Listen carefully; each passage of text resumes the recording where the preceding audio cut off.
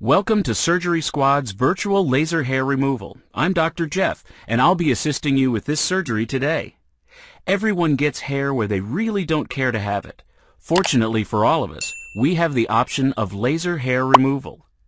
Laser hair removal is a non-invasive cosmetic procedure that uses a laser to remove unwanted hair. The energy from the laser damages the hair follicle, which reduces the hair's ability to grow. Although laser hair removal is an incredibly popular procedure, not everyone is a good candidate.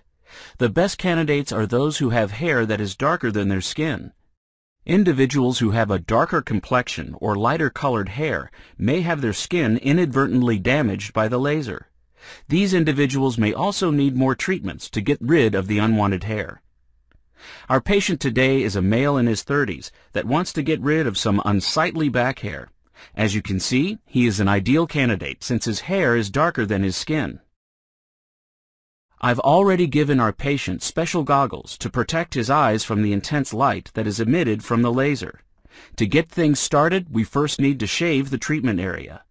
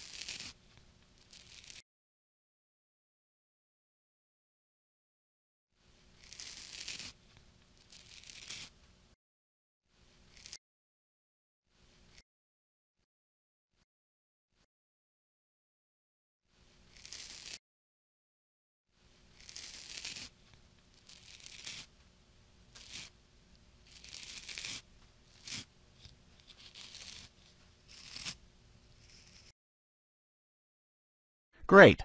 Next, let's apply a topical anesthetic to the treatment area to reduce the amount of discomfort our patient may experience.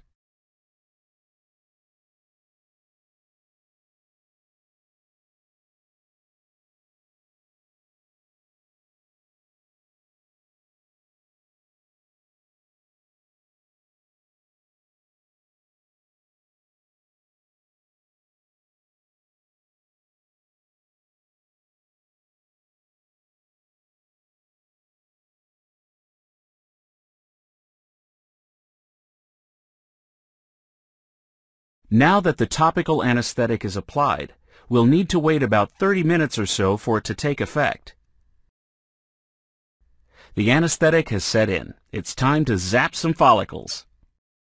The most important step of laser hair removal is to get rid of the unwanted hair using our laser.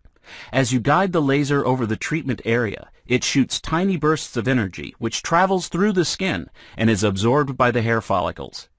By doing this, we're damaging the hair follicle and reducing any future growth. Why don't you try it out?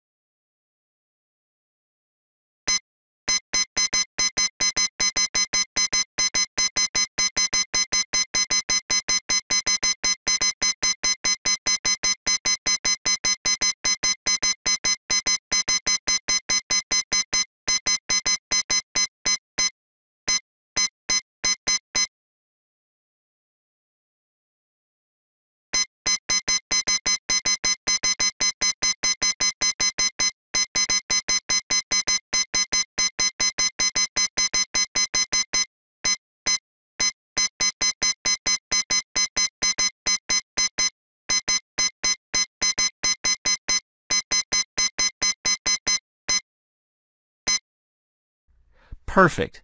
Are you sure you haven't done this before? After the procedure has been completed, our patient's skin may appear red or irritated. Luckily, this lasts only a day or so. It's extremely important to avoid the sun or use sunblock for a few weeks after the procedure and avoid any plucking or waxing of the treatment area. Immediately after the treatment, our patient can apply cold compresses to the area to help alleviate any discomfort. Within a few weeks after the procedure, he may notice some new hair growth from the treated hair follicles that were inactive at the time. Because of this, our patient may need to undergo multiple treatments. Most individuals receive a total of six to eight treatments before achieving desired results. The overall results of each treatment rely greatly on an individual's skin tone, hair type, and growth phase of the hair within the treatment area. Laser hair removal may not prevent hair from growing completely, but after multiple treatments, it can significantly reduce the amount of unwanted growth. And that's laser hair removal. I couldn't have done it better myself. Why not try your skills in another surgery here on SurgerySquad.com. Check out our other videos on SurgerySquad.com.